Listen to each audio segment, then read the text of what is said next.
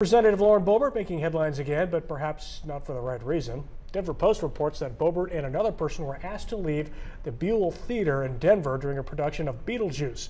According to the Post, Boebert was asked to leave the theater after being accused by the venue of vaping, singing, recording, and causing a disturbance during the performance of the musical.